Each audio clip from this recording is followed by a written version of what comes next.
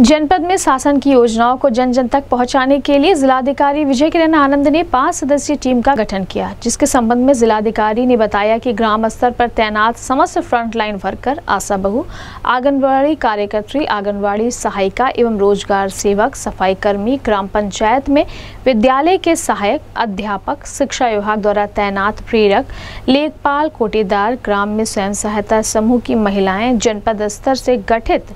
Triggering team द्वारा संचालित कार्यक्रम के दौरान उक्त समस्त कर्मियों की उपस्थिति में अपना सहयोग प्रदान करना सुनिश्चित करें,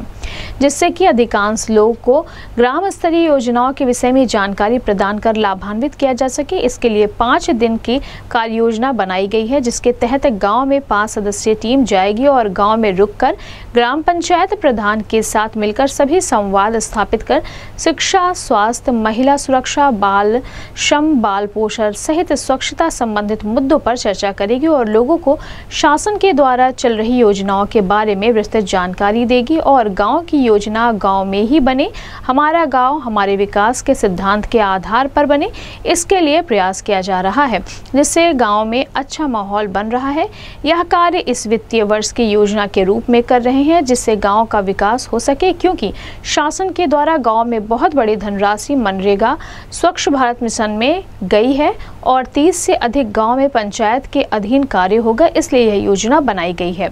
इस संबंध में गोरखपुर न्यूज़ से बात करते हुए जिलाधिकारी विजय किरण आनंद ने कहा। स्वच्छ भारत मिशन को लेकर सर नहीं, जो हमारे सबसे इंपॉर्टेंट काम ये है कि ग्राम पंचायत में योजना बनाने से लेके,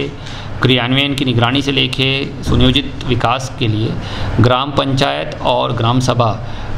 सक्रिय रहे, उनको योजनाओं की जानकारी प्राप्त मिले, प्राप्त होती रहे, पारदर्शिता रहे और इसके लिए उनको ट्रिगरिंग और कम्युनिटी लेड अप्रोच से प्रशिक्षण कराना, सामुदायिक सहभागिता सुनिश्चित कराना ज़रूरी है। इसके लिए हमने फाइव डे मॉड्यूल डेवलप किया है, जिसके तहत गाँव में हमारी पाँच सदस्यीय टीम जाएगी, जो बहुत अच्छी तरह प्रशिक्षित है, विशेषज्ञों से प्रशिक्षित है।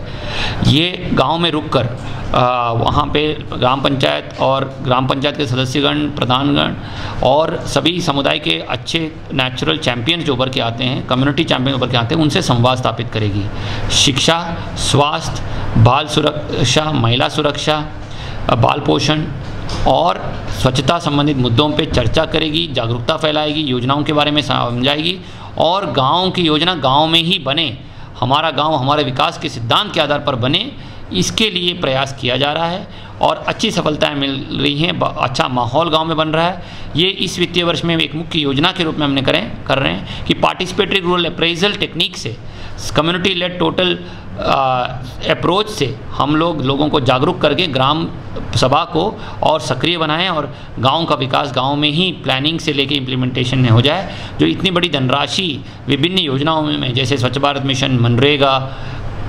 पंद्रहवें वित्त आयोग पांचवा वित्त आयोग इन जनराशि से प्रतिनिधान हो रही है और 30 से ज़्यादा विषय गाँव पंचायत के अधीन कार्य करने हैं। उन सब के क्रियान्वयन में बहुत अच्छी तरह वहाँ पे सुनियोजित विकास हो, इसीलिए ये प्रयास किया जा रहा है।